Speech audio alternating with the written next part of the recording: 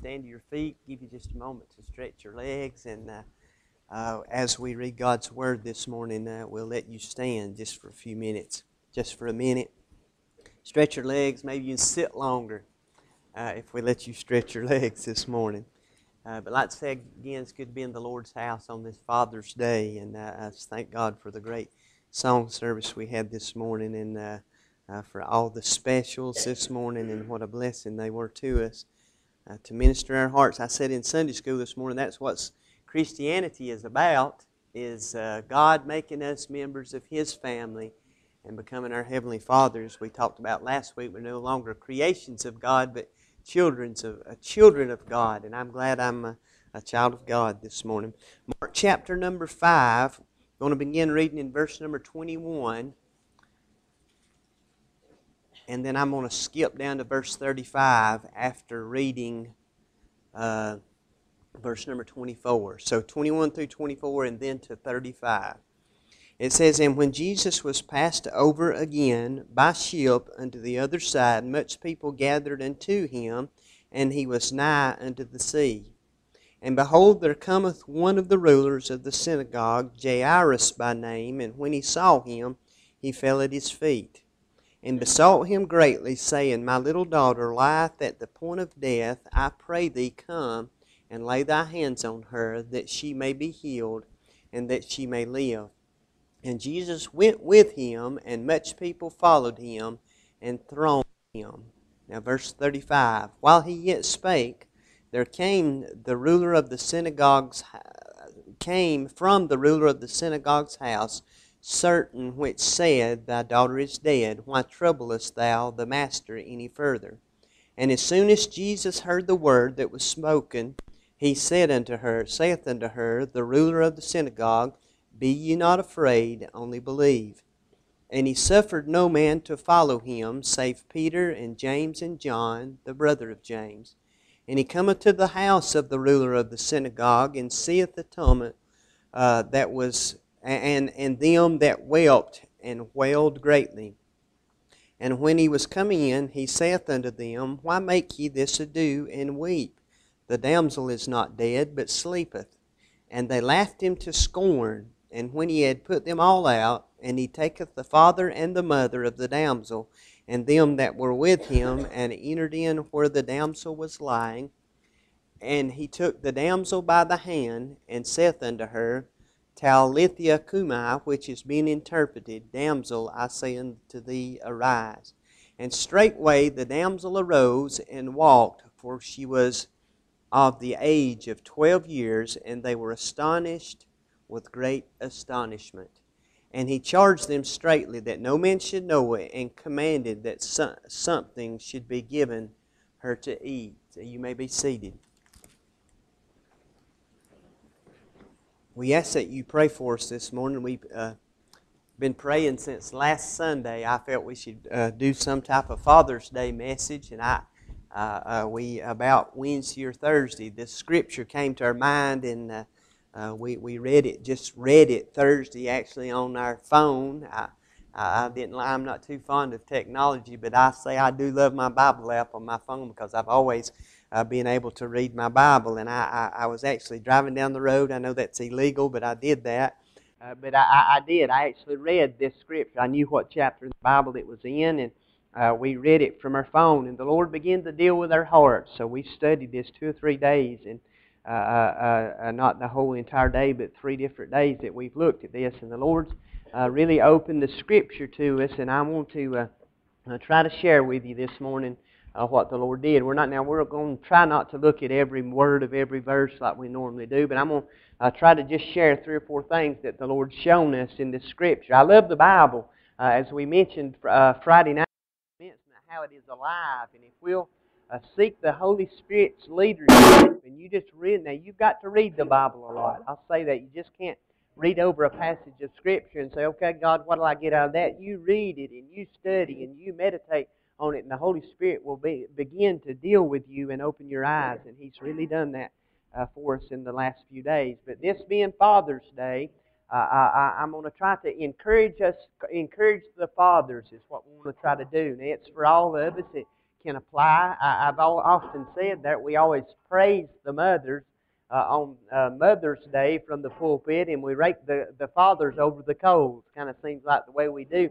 But we're not going to try to do that today. We're just going to try to uh, encourage fathers, is what we want to try to do. But uh, we're also going to charge you, though, is what we're going to do. But now, uh, you know the story. If you read in your Bible, early part of Mark chapter number 5, uh, the Lord had uh, healed the maniac of Gadara there, and after that, he uh, got in a ship, the Bible says, and passed over to the uh, uh, other side of the Sea of Galilee. I, I'm sure there, and how that's what the Bible says. And it says, and he was nigh unto the sea. Uh, now, you, you pray for us this morning that uh, the Lord uh, can use us this morning. Like I say, we're not going to look uh, at every word if we can't. But it says, And behold, uh, there cometh one of the rulers of the synagogue. Now, when immediately after we read this, I, I thought of Nicodemus. Now, we know in uh, John chapter number 3, we also know that Nicodemus was a a ruler of the Jews, uh, uh, I think maybe a Pharisee, and how uh, uh, uh this man Jairus, I, looked up the pronunciation of that word. I think that's the way it's pronounced, but how uh, he was also a ruler of the synagogue, and he would. I, I, did a little research. He would kind of organize the way the service went. What he would do, he would do the scripture reading. He would choose that and different things that he would do. So he was familiar uh, there with the, uh, the Jewish tradition is what it was. But, uh, but now uh, we know that Jesus didn't go along with Jewish tradition. We know that. Uh, but he had also heard of this man who claimed to be uh, the Christ there and the great miracles that he did, or he wouldn't be there this morning. So you pray for us this morning. How and that's what happened. It says, And behold, uh, there cometh one of the rulers of the synagogue, uh, Jairus by name, and when he saw him, speaking of Christ, he fell at his feet. Now, uh, now we know he was uh, obviously a man of God because he, uh, as far as Jew, the Jews were concerned there, uh, because he was a ruler in the synagogue. But when he had a need there, uh, we see where it led him. We, we see where he went when he saw that he had that need uh, this morning. And you, you just continue to pray. But how I, I thought about Nicodemus. Now, that's the reason I thought about that because I just wrote not ashamed in my Bible. Now, we know that Nicodemus, uh, out of fear of the Jews, the Bible tells us there that he went to Jesus there by night. It said, then came, uh, uh, uh the same came to Jesus by night there uh, and said, Rabbi, we know thou, that thou art a teacher come from God. Uh, for no man can do the miracles that thou doest except God be with him. Now, see, I didn't even read that verse, and then God just uh, calls me to right then, and I see why He calls me to do that. See, he also, Nicodemus had also what uh, uh, heard of the fame of this man named Jesus there, and see, that's why Jesus did the miracles, as John tells us in the last chapter, of, or next to the last chapter of his epistle there, uh, that he did it that people might know that he was the Christ, the Son of God, that he was God in the flesh, and uh, when the Jews heard him called the Christ, the Messiah, they knew what that meant. And we know uh, some believed and some didn't, but it was the miracles uh, that caused people to hear of Jesus. And we know that's the very reason that this man also uh, came there because he had heard of the uh, what the Bible tells us, even in Matthew chapter number 11, I think it is, how uh, when John had doubt in prison. Now, I'm going to try not to be too long this morning. Total that. I'm going to get a clock put right up there. That'll help me uh, to try to speed things up a little bit, but how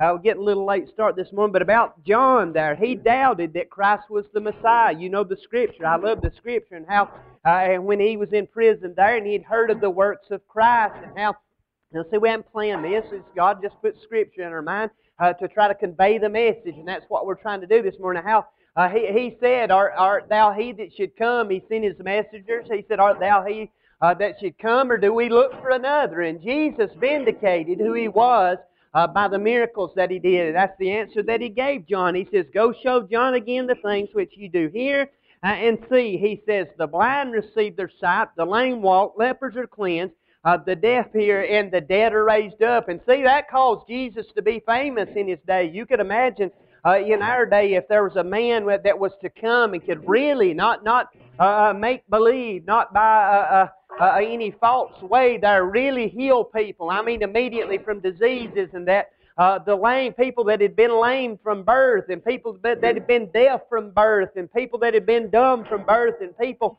that had died were uh, literally raised from the dead. Now, I tell you what, that would cause a big stir, wouldn't it? And see, that's what uh, Jairus had heard there. And the reason I'm saying this, we're, we're here this morning there uh, to lift up the Lord Jesus Christ. That's what that's the purpose of our calling today. Uh, not only that people be saved, but uh, uh, but to lift up the Lord Jesus Christ, that people might be saved, and that's uh, what we're here for first and foremost this morning. But how? Uh, first thing I want to say this morning, he was not ashamed there this morning there, uh, and not afraid to come to Jesus. Why? Because he knew that his little girl had a need, and that's what uh, I want to share with you the first thing. He was not ashamed to come to Christ. He was not afraid to come to Christ there uh, because he also could be punished probably for, for falling or following the Messiah there because that's why Nicodemus came at night. He admitted uh, that he did it for fear of the Jews, and there are many places in Scripture that'll say that. But how uh, it said that he knew that he had a need, and he had heard what this man Jesus could do, and that's what he did. Now, uh, so I want to share one thing for you this morning. Uh, first of all, his fathers there. Uh, don't be ashamed, or I want to charge you this morning uh, to go to the Lord on behalf of your children. I, I, hear of all the testimonies that we've heard in Sunday school this morning and, uh, about uh, uh, fathers and all this, and I tell you what, uh, that's the, uh, the responsibility of the father there to be the spiritual leader in the home. Now, I'm not going to rake you over the coals this morning, but I'm going to make a statement this morning uh, that is true. It's the responsibility of the father uh, there to be the spiritual leader in the home. If you'll read this, he was a ruler uh, in the synagogue. I'm sure he had people under him, and he probably had the authority there. Uh, just as the centurion did in one place, had also had a family member or a servant sick there. Uh, he could have sent someone. He could have sent them and said, "Go uh, get Jesus because my little girl is sick." He could have done that, or he could have uh, done much like I do sometimes when I need something and I'm busy and I'm doing something. I'll I'll say, Tina, run to Home Depot for me because I, I feel like I don't have time to stop doing what I'm doing, and I'm uh, thankful for that. But I tell you what, when it comes uh, to coming to God on behalf of our children, it's the responsibility of the Father to lead in that today. Uh, that's the example that we said. And I, I said this morning in Sunday school about my daddy and my mother's here this morning, and I'm thankful for uh, the godly family that I grew up in, and I mean the example that they set before me, and I, uh, the way that they pointed me. I'm thankful for that today. Uh, but I tell you what, when I, I said this morning, the most impressive thing uh, that my daddy did, and he had a lot of accomplishments. But I said I was so proud uh, that, that my daddy was a preacher, and that he was a man of God, and that he, uh, he wasn't ashamed to go to God on my behalf, and neither was my mother there. Uh, and, and it really influenced me. And I tell you what, I was determined there when I had kids uh, because of the, uh, the great life that they lived in front of me there. Now, I, I wrote somewhere in my Bible this morning or last night when I was studying there because uh, Christianity is not taught, it's caught. It is, and I've heard people say that before. Uh, and they not only taught it there, uh, as Deuteronomy 6 commanded, uh, the children of Israel to teach their children, but they lived in it, and it's because of that that I called it. It's just like a, a disease that is contagious there. If we're uh, near them enough there, it'll, it'll rub off on us. And I just thank God today uh, that because of that, that I was led to an old-fashioned altar of repentance. Um, Jesus gloriously saved my soul, and I tell you what, He put something in my heart to want to serve Him and to, and to see my children serve Him also. Now, I not only want uh, my children saved, and I thank God today that they're both saved. Uh, but I, I, charge my children continuously not to ever uh, stray from following the Lord. And I don't want them to do that, and, and we ought not be ashamed. Uh, to go uh, to, to the Lord on the behalf of our children. Now, uh, let's look real quickly just at the scripture. That's the main thing I wanted to say. in verse number 2, he says, And he besought him greatly, saying, My little daughter lieth at the point of death. Now, again, it's the, it's the role of the father to be uh, the priest of the household. Did you know that? It is. And I tell you what, uh, when we stand before judgment today, uh, the, the, uh, uh, and I know there's a lot of single mothers and single parents nowadays, uh, but I tell you what, it's because of fathers that have failed to follow God's guideline for the family. That's what it is. Now, now look just for a second, and I appreciate mothers, and like I say, these that do bring of the children. But I tell you what, it, it's not their responsibility. It's the responsibility of the Father. Now, I thought about Job just real quick. Uh, Job chapter 1 and verse number 5. It says, And it was so. We know how uh, uh, uh, uh the Lord, that the Bible tells us of this man's name Job and what a great man he was. And this was God's opinion of Job. And it says, And it was so when the days of their feasting was done, his children that Job sent and sanctified them and rose up early in the morning and offered burnt offering uh, to the number of them all. Uh, for Job said, It may be that my sons have sinned and, and cursed God in their hearts. Uh, and this did Job continually. Job continued daily uh, prayed for his children. That's what we should do. I've told this probably here before. I know I've told it several times from the pulpit. I, I, I not only prayed for children, but the night both of my children were born, I still I did. We were uh, uh, Tina worked for Dr. Martin at that time, and uh, we not that we had special privilege, but maybe just a little bit. Uh, he'd kind of tell them what room he wanted us to be in, and there was one room back then that was kind of uh, special, and we got it. And Tina, my wife will tell you that, and it was at the end of the hall, and it was like uh, twice the size of the rest of them. It's right next to the stairwell, and I'll say that in how uh, when both of my children were born, I remember I stepped out of that, and uh, uh, the stairwell there that goes down uh, to the bottom floors there was there, and I just went in there, and I got down all fours there, and I prayed to God uh, for the souls of my children. I've said that before. I've told that many a time, and it's uh, not nothing that I'm bragging upon myself, but it was a burden that God had given me. Uh, and I promised Him that if I ever had children, I promised Him I'd raise them in church and I teach them about Jesus, and that's what I wanted to do. And I prayed for their soul. I, I did, and I, I remember when Michaela, I was praying for her. Uh, somebody came in, and they came down that by the steps by me while I was praying. Never looked up. I ain't got a clue who it was. Hope some way it influenced them for a positive in a positive way. Uh, but I did that. Why? Because I knew it was my responsibility to do so. I wasn't going to leave it up to my wife to have my kids in church and to raise them. It's my responsibility. Uh, and, and we ought not be ashamed uh, to go to the Lord on behalf of our children. And we ought to do it in front of them. Now, I know this little girl was unconscious at this time. She was dead, is what the Bible says. Uh, but he was not ashamed uh, to go to Jesus and say, My child has a need. Uh, now, our children have a need today, and I know you'll agree to that. That's why we put on this Bible school. Uh, that's why I've tried to help Gerald stress Sunday school. It's important that our children are taught God's Word and taught that they need Jesus today what we need to do. And I'll encourage you, if you do not have your kids in uh, uh, Sunday school, you have your kids in Sunday school. Is that a command? Amen. I'm telling you to do it this morning. Uh, but I'll say, why is that? Uh, because uh, why do we have Bible school? Why do we go out in the community and try to reach people? Because uh, there are people that are unconcerned or not raising their kids in church and teaching them that they need Jesus.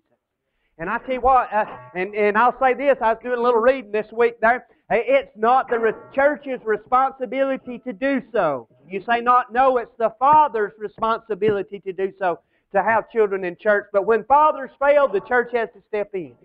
Uh, and that's what we need to do. That's, that's our responsibility. That's why I had such a burden uh, to start a program on Wednesday night to reach kids that may not be being reached. And that's why we must do that. Now, I didn't know it was going there, but that's where we went. But don't be ashamed to to go to God on behalf of your children. That's the first thing. Because look what he says in the latter uh, part of verse number two. He says, I pray thee come.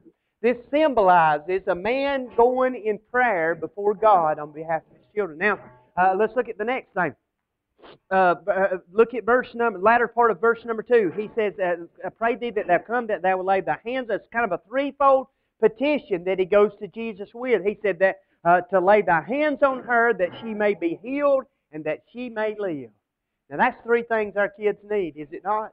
Look, look at it. That, that God might lay His hands on them. You read Mark chapter number 10, just a, a, a few chapters over. We preached from this a while back. What does it say? Jesus took the little kids up in His uh, lap there. It said He put His arms uh, uh, on them and put His hands on them. Uh, that's what children need today if they're going to influence the kingdom of God in their day and in their time that God's allowed them to live, I tell you what, Jesus needs their hand on them. I'll say that. Uh, the next thing there that we you can see how plain Scripture is if you'll just look at it, uh, and it does good to break stuff up in parts. It's threefold. It's very clear that uh, to lay their hands on them, uh, what that they may be healed. What do they need? They need salvation. I believe that uh, uh, implies that. I really do. It's what it needs. And, and the third one, that they may live.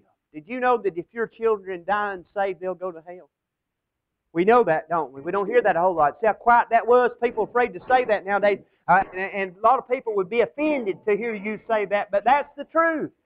Uh, the truth offends. But I tell you what, if children die uh, once they reach the age of accountability without Jesus Christ as their Savior, uh, there is a place that God has prepared for the devil and his angels, not for people, uh, but that's where they go if they lie lost without God. And I tell you what, if that's what it takes to get fathers concerned in this community, buddy, I'm telling them the truth. uh, because that's what they need to hear, and that's what they need to hear. Uh, but the second thing, don't be afraid to go uh, to God on behalf of your children. The second I wrote, uh, don't be afraid to admit, admit that we're not Superman. I, that ain't what I got wrote in my Bible. I just don't be afraid to admit that we're limited in what we can do and that we need God. Now I know when my kids was little, they thought I was Superman, kind of little Superman, but I was the Superman. Uh, in their eyes, I could do anything. They were amazed I wasn't scared of the dark. And, uh, and, and Abby was telling somebody just the other day something was messed up, and she said, "My daddy can fix it. My daddy can fix anything." Uh, but I tell you what, we need to admit to our children that we're not perfect, and they know I'm not. They've lived with me all these years, uh, but but that we're limited, and without God, we can do nothing. And see, uh, that's what impressed me so much about my daddy. And I and I'm gonna brag on my daddy just a second. I do a lot, but I tell you what, he's the greatest influence uh, uh, far as a man in my life. I tell you what, he was not afraid to admit there that he needed Jesus. And I'd see him pray all the time. And I, I knew when he, he was in trouble, he'd go to God. And when uh, we were in trouble, he'd go to God in front of us. And I tell you what, it made a mark on my life. And I, and I tell you what, I thought he was Superman. I really did. Uh, but he was not afraid to admit that he was not. But I tell you what, that made me think he was even more Superman. Uh, when he was big enough to admit that he is not perfect and that he needed the Lord. And, and that's, uh, fathers, that's what we need to do. Uh, uh admit that we're not Superman and that we need God. Uh, uh, a fellow I met just this week, and this week never met him before, said he's going to try to bring his kids to our Discovery Club. He was telling some uh, a way the other day that he done something happened and he knew it was God and he said I was careful to tell my kids that it was God. That's what he said. He said I said wait just a minute. He said you know who done that? He said I want you kids to know that God did that. And that's what we need to do. We need to point to him. That's what we need to do. Now now and it says verse 24 I've, I've got to hurry. It says and Jesus went uh, with him. When, when the man called, Jesus went. He promised he never fail for sake. John 14, 13 and 14, he promises that anything that we ask in his name, he'll do it. You can depend on Jesus today. Now let's move on down to verse number 35. I've got to hurry. Uh, now look what he says. He says, While he yet spake, there came from the roof. Now listen, they, you see the story. I've kind of broke it up. Uh, uh, the man runs to Jesus. His daughter's uh, uh, uh, in very dire need. You can read the life at the point of death. Uh, while he's talking to Jesus and begging him to come, one of the uh, somebody from the ruler of the synagogue's house probably had a servant, most likely, came and said, "I'm sorry, but your daughter's died. You need to bother Jesus anymore." That's what he said. that's what he said. But they didn't know who Jesus was, did he? Uh, they, hadn't, they hadn't read John 11 like me, we, me and you have, when he says, I am the resurrection and the life. He that believeth in me, though he were dead, yet shall he live. And whosoever liveth and believeth in me shall never die. Believest thou this? So they hadn't heard that yet. But listen what Jesus assures them of. Look in verse number uh, uh, 35. It says, While he yet spake, there came from the ruler of the synagogue's house a certain and said, Daughter, uh, thy daughter is dead. Why troublest thou the master any more? And soon as Jesus heard the word that he'd spoken, he said unto them, uh, look at this, the ruler of the synagogue, be not afraid, only believe. What's he talking about? That I am the resurrection and the life. That's what he's talking about. That's what he asked him in John 11, wasn't he? Uh, believest thou this? I am the resurrection and the life. And we've done said that. Uh, he says uh, to them that believe, uh, believest thou this? And that's what Jesus asked him. And that's the same thing that he's saying here there. Uh, you just don't you just don't be afraid. You just believe in me and what I can do is what he said. Now I'm gonna stop there just for a minute. Now uh, and say just a couple of words about faith. Uh, uh he tells them to only believe, but I tell you what, faith uh, alone will not do a thing. You read the book of James. Uh, faith being alone without works is dead. The Bible said it's our works that prove that we have faith. but faith in itself is useless. The Bible tells us that God hath dealt to every man a measure of faith, but what was the purpose of that? That we might put it in Jesus Christ. It, it, it, it wasn't his faith. You, you, there's a break in the story. While he's on his way, there's a woman with an issue of blood. You know the story. She'd spent all she had uh, at all the physicians, and it hadn't got any better. Actually, got worse. The Bible says. And she had heard also heard of Jesus and what he could do. And she said, "If I could just uh, touch but the hem of his garment, I'll be made whole." You know the story. Uh, and uh, uh, we know the story when he touched it. Christ felt that virtue had went out of him. The woman was afraid, and she fell at his feet there and told him the truth. And he said unto her, Daughter, thy faith hath made thee whole. Go in peace and be whole of thy plague. What made her whole? It, it was not her faith. It, it, that's what Jesus said, thy faith has made thee whole. But it was the object of her faith. And who was that? It wasn't a what. It wasn't faith itself. We hear a lot of talk about faith today. Oh, my faith got me through. My faith in Jesus got me through. That's what it did. He's the one that's going to, He's gave me eternal life, and I tell you what, He's the one that's get me through this life. And see, that's what Jesus was meaning. He says, Be not afraid, only believe. Put your faith in me, and it'll be okay.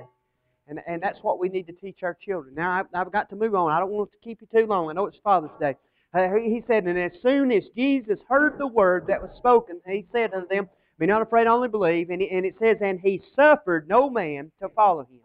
Say Peter, James, and John, the brother of James. So uh, he, he wouldn't let nobody else go to the house with him except three of the disciples. So it says, and it said, He, he cometh to the house of the ruler of the synagogue and seeth the tumult, tumult that means the, just the wailing, weeping, the turmoil, uh, and saith unto them, uh, uh, them that wept and wailed greatly. Now I'm going to stop right there just for a minute. Don't be ashamed to go to God on behalf of your children in front of your children. Don't be ashamed to pray. Uh, uh, we do that often at home, and we don't like we used to. We always pray over our meals, and I usually do because Abby, she's so shy sometimes. But now when somebody else is around, Abby will pray. You know, she likes to do that. But how? Uh, uh, but don't. We did that this morning. I prayed for Abby. She don't feel good. I prayed for Michaela, and I prayed for my wife. Do that in front of your kids. Pray in front of your kids. Meet at night and pray. We used to do that, and I've failed lately. We know as our kids have got older, we don't do that, but we used to pray. I remember my mother's here. she'll tell you, we had a split level house, and you go through the living room and you step up in a little hall and turn right up the steps, and it's up to mine and Terry's bedroom. That's where it was. And would tell you this. We'd meet on them steps most every night, wouldn't we? When we was little kids, Daddy and Mama and us three kids when my sister was still at home. She got married in 1978, and I was 13 years old. But up until that time, we'd all meet on them steps. That's what we do, and we'd have prayer at night. Uh, and especially when there was some kind of trouble going on. Uh, there's some kind of trouble going on in the home. That's where we'd meet. We'd always, we'd, it's kind of a good place for all five of us just to bow down. Was on a set of steps. It's kind of like our little family altar. And I've never shared that, uh, but I'm, I'm glad to get to share that. And that influenced me. And that's what we should do as fathers, be the spiritual leaders in our home. Now, now, listen, what am I saying there? I, didn't know we was going there, but that ties right into what we're fixing to say. As fathers, don't be afraid to bring Jesus in the home. I tell you that. See how obvious that is? God, ain't God's word amazing? I tell you what, we go to Him, and what do we do when we go to Him? We bring Him home. It's what we do. And that's what we do. See, we go to Him. We admit we're not Superman, and we bring Jesus to our house. Why? Because He is Superman. Uh, he, he's God in the flesh, and He can do anything. He can meet any need that we have. And see, that's what happened. And I got one more we're going to show you, and then we're going to it done in a minute. So, so look, uh, don't be afraid to bring Jesus in your home. Now, now I'm not going to read all these. I was this morning, but I done been longer than I meant to do. Read Matthew chapter 7, verse number 24 through verse number 27. I want you to do that. I preached on that one Wednesday night, a few, a few Wednesday nights ago, how that those two verses are not the sermon. Those two verses are, are the conclusion. Matthew 7. Matthew 7, I think it is. I hope I'm right. I'll probably give you the wrong reference. Matthew 7, uh, yeah, verse 24 through 27, talking about building your house upon the rock.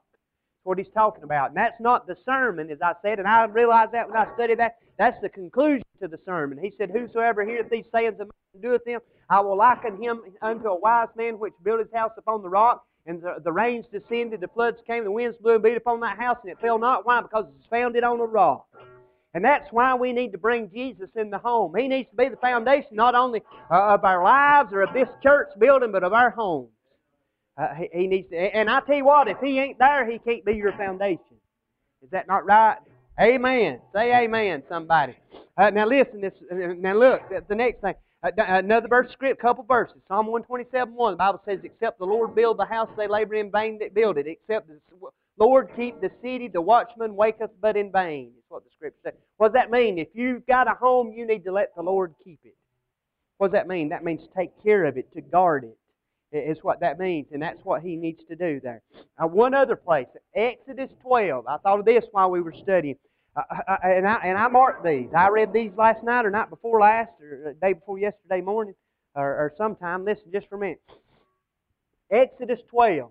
The Lord had done told the children of Israel, uh, we know all the plagues and all the things that He had sent on the land of Egypt. And He said, the last plague's going to get Pharaoh's attention. I'm going to kill every firstborn in the house, but there's one way you can escape it, and that's by killing the, the blood, uh, blood of a precious, spotless lamb there and putting the blood upon the lintel and upon the doorpost.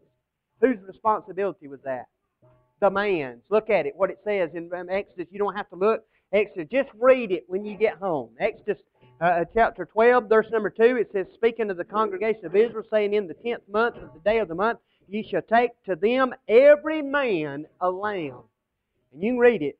The man, the man, the man, the man, the man. It, it wasn't the wife's responsibility to go get that lamb. It wasn't the right wife's responsibility to go kill that lamb. It was not the wife's responsibility to put the blood on the door. It was the responsibility of the father of the house. And you read that. Now, boy, I tell you what, now that's clear in Scripture also. And that's why I say I'm not getting on to the, uh, uh, the fathers today, but I'm charging you that you be sure when you leave here today, you know it's your responsibility.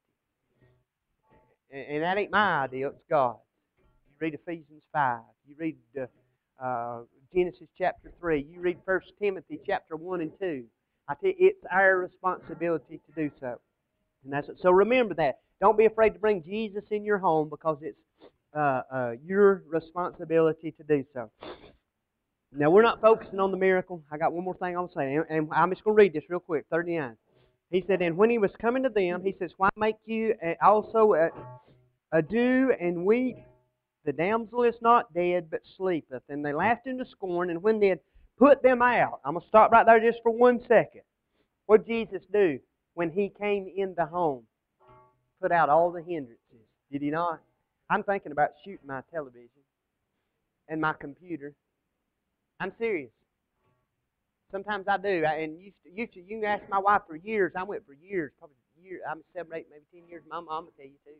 I, that's all I ever done is read my Bible, and I didn't even watch television. Somebody, oh, you don't watch television, but I've got what I do now. And sometimes I watch more than I should. Put out all hindrances. That's for me too this morning. That's what we need to do. Looking at cars online. I, I know another here does. I don't call them names. Uh, but I, I love cars. I told brother, seen my pastor, Brother Henry Loggins, the other day. He's got, I showed me all his cars. I'm like, quit this. You're tempting me. Uh, all these beautiful restored cars he's got and all this stuff. And I told Henry, I said, Henry, I just told my wife the other day, I prayed that God would take that from me, the love for cars from me, if it's a hindrance. And I mean that. And, and, and y'all know, I, my wife and my mama tell you I'm a nut. I, I am. But, but I believe it's okay if you don't let it hinder. But sometimes it's a hindrance. And I tell you what, sometimes we need to put all hindrances out of our home. And, we need to do that. Now, I, I, let's move on. I, I, confess. I done some confession there. Whew, I feel good. Uh, now listen just for a minute. And they laughed him to scorn, put out uh, all the put put them, put them all the hindrances out. Now let's say this real quick. Look at the next thing. He he says, and he taketh the father and the mother. See what? We, Can we have a like a marriage day? or something. We have a Father's Day and a Mother's Day. Let's do a sermon sometime on mamas and daddies staying together. We need to do that sometime. See, they were together. Where'd he go? He took Jesus home. And I tell you what, what Jesus do, he took the mom and the daddy and he carried them together in there with the little girl. What does that that symbolizes? The unity of the family. it's awesome, son. I tell you, this book is awesome and God is awesome. Now listen just for a minute. I got to hurry. It says, and he took the damsel I like it when you don't plan nothing. Ain't it amazing? You know? Uh, now look what it says. It says, And he plant, took the damsel by the hand and saith unto her, I'm not even going to try it. It's Greek. And I, I ain't studied Greek. Like Brother Golly said, I know a little Greek. He's about that tall. That's what he used to always say. But listen, just for a second. It says, which has been interpreted, damsel, I say unto thee, rise. And straightway the damsel arose and walked, for she was of the age of twelve years, and were astonished with great astonishment. And he charged them straight that, that no man should know it. I bet they disobeyed that last verse. You bet? You, read it other places in Scripture. Jesus would command people not to tell him what he just done, and that's the first thing they said. That's the way your kids are. You sometimes don't you do so and so, don't you say so and so. You'll get in the crowd, and that's the first thing they say. Especially Abby. You just got to be careful uh, what you say. But now listen, just and that I guarantee. Now listen, listen. This, this, I think this. We're closing with this. I read that and I thought, just imagine. Now see, the daddy started all this. The kid got sick and he went to Jesus. But just look what a testimony for generation after generation after generation that this became. All because of why? That daddy was not ashamed to go to Jesus on behalf of his kids. Ain't that amazing in Scripture? Look what he says. Eh, eh, eh, and I just I wrote my Bible. I got me a new red pen last night. I said I need a red pen. I got so much stuff wrote in my Bible I can't read it. Thought if I wrote it in a red pen I could see it better. So see right there, I wrote something down. I, I wrote uh, uh, father a father's faith impacted a daughter's life. His granddaughter, if he had grandkids, his grandkids, his great grandkids, his great great grand. Why? Because you know that little girl told her kids if she got married and had kids, you know I was dead one time. And my daddy went and got Jesus. And he raised me from the dead. See? The little grandkids. Hey, you would not believe this. But did you know that my or the kids, my mama was dead one time and my granddaddy went and got Jesus and raised her from the dead? The little grandkids. Hey, did you know that my grandmother was dead one time? And my grandfather, or great grandfather, went and got Jesus, and he raised her from the dead. And see how, look at us today. What are we reading in the Bible some 2,000 years later? That some daddy went to Jesus on behalf of his little sick girl, and Jesus raised her from the dead. And I tell you what, why, why, why was that? Because of what this daddy did. And I, I ain't never preached from this, y'all. I preached from Mark chapter 5 about the woman with the issue of blood half a dozen times.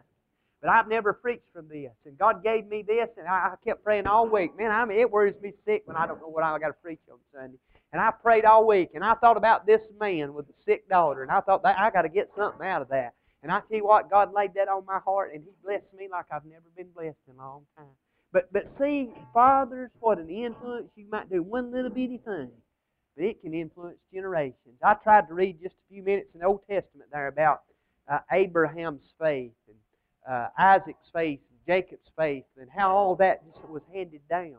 And, and that's what we do. We, we I, sometimes I, I get so discouraged, and I ain't been lately. Since I've been Mount Olive, I've been up on the mountain, and I'm looking for the hill. It's coming someday. I'm going down it.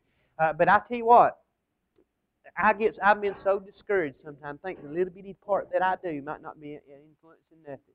But I'll say this, and you stand to your feet if you want to. Go ahead and stand to your feet. I'll say this. They can come with a song, but I'll say this.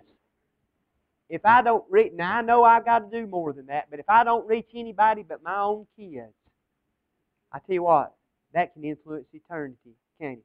It can influence kids and great grandkids, like I say, and, and it affects eternity, does it not? And I'll say this if every daddy in the whole world, and we know that'd be a miracle, would just make sure that Jesus reached their own, he reached their own kids with the gospel, and they all got saved, tell you what, the world would be a good place, wouldn't it? Why? Because all daddies took the responsibility, not only just to, and I'll say this real quick. People father children all the time, and don't do. I know somebody just the other day I heard that they'd fathered the children, and just hadn't been there since, you know. I tell you what, anybody can do that. But I tell you what, it takes a man to be a daddy. It takes a man to stand up and be a daddy. And not just provide the material things. Sometimes that, you know, they, they may uh, even provide material things. But I tell you what, a, a, godly heritage is the greatest thing that we can leave our children. Uh, the greatest thing that we can leave our children is a godly heritage this morning. I, I, I don't know the invitation this morning. I, I don't have a clue. But, but just as fathers, I hope I've caused you to leave here like I'm serving the Lord. Be like Joshua in chapter 24 and verse 15. He told them, uh, Israel, he commanded them, said, Y'all got a choice. You can choose today, but he said, Today's the day you make a choice. Choose this day whom you will serve, is what he said. But it's for me and my house. I'm going to serve the Lord. And we've got that on a plaque in our house. We've got several little plaques like that around through the house. And I'll tell you this, you better keep what you vow. If you vow it this morning, you better do it. You better do it because God has no pleasure in fools this morning. Just, I just want to encourage you uh, to, to be a godly father. And I've tried not to rake you over the coals too bad this morning. i tried to encourage you and might cause you to leave here with the determination that I'm going to serve God and that I'm going to raise my kids and I'm going to show them that I love Jesus. And it'll influence them for the good. I promise you this morning as they sing.